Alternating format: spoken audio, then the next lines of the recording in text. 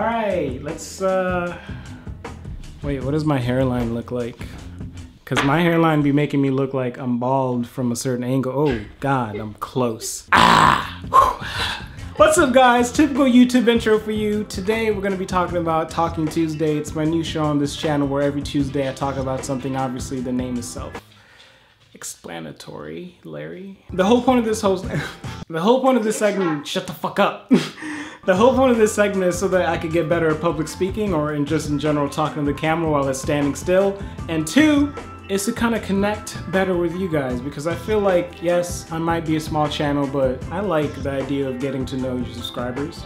Honestly, I do. It's just important to me. That's it. You know, that's that's all I wanted to say. Am I right? It's just important to me. You know, I like I like to know what you guys are doing on your day-to-day -day basis, but nobody comments, so I gotta make things like this for you guys. So for today's topic, I'm talking really fast because this jacket is really hot and I want to get out of here. Today's topic, I want to talk about feeling like a failure or just in general comparing yourself to other people. So as you guys know, two days ago, three days ago, or four days ago, I made a video about how long I spend on a usual basis on my phone. And it's usually like two hours per day, which equates to a month out of my year. And it's minimum two hours a day. Imagine a month of your day. And that's just usually on social media. So Instagram, Twitter, whatever. And I just kept thinking to myself, sometimes I feel like a failure. Like I, I don't like to think of myself as someone who compares themselves to other people. But when you're constantly seeing people your age doing so much better than you, you're gonna feel some type of way. It's gonna creep up on you in some type of way. At least that's for me. Recently there's this girl, she's 22 years old and she's directed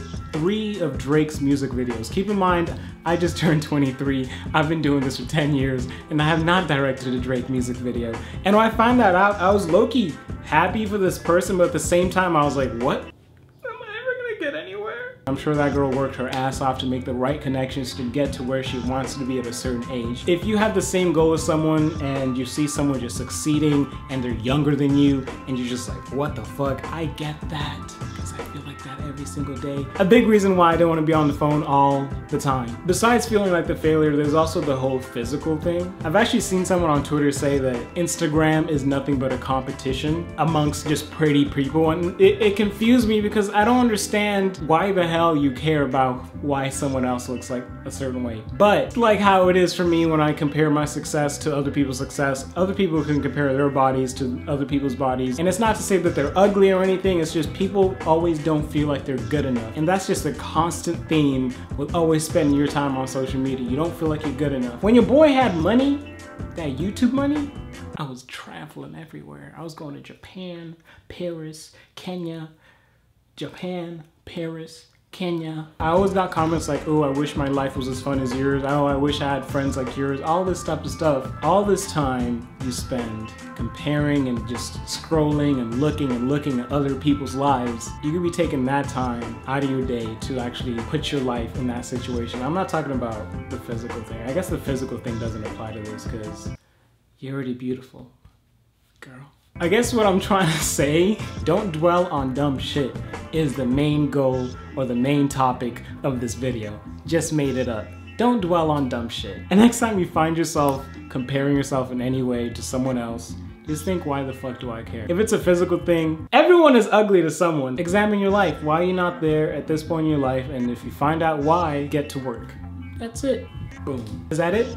And that's my first ramble. That's my first Tuesday talk. You know, this is a last minute thing. Let me know what you guys feel about these. Um, obviously, they're gonna be better produced, I hope.